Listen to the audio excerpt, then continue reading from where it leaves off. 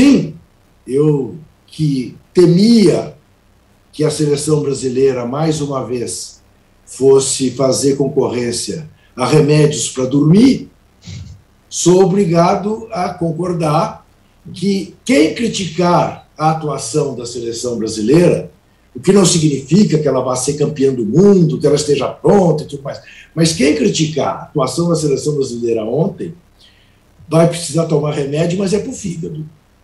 Para o fígado, porque realmente não, não, não estará bem de humor.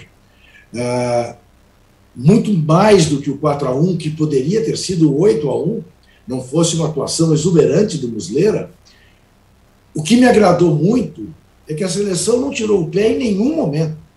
A seleção fez questão de dar espetáculo. Acho que isto tem muito a ver com a presença do Rafinha.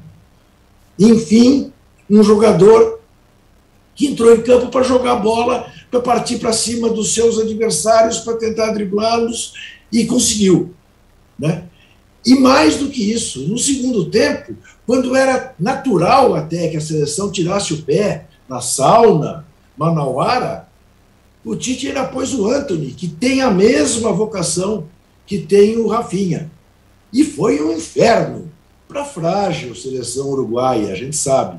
Frágil do ponto de vista tático, frágil né, do ponto de vista já de saúde, né, porque a sua grande dupla de atacantes já envelhecida, um time que não é mais a Celeste, embora a camisa seja.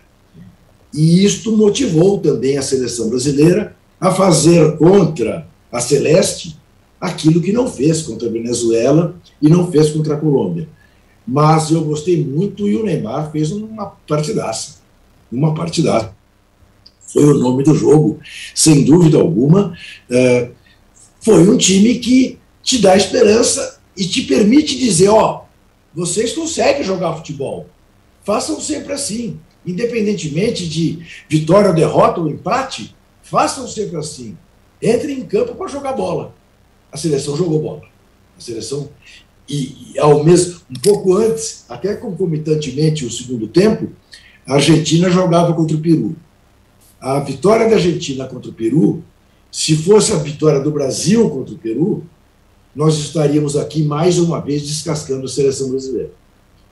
Uh, a comparação é justo que se faça. A gente que vinha meio que encantado né, com a Argentina, a Argentina ontem parecia o Brasil contra a Venezuela. E o Brasil ontem pareceu a Argentina contra o Uruguai. Porque o Uruguai motiva. Essa também é uma outra realidade. Né? Você esperar muita motivação contra a Venezuela, contra o Peru, é difícil, mas tem que ter, porque são profissionais e tem que jogar futebol e dar espetáculo.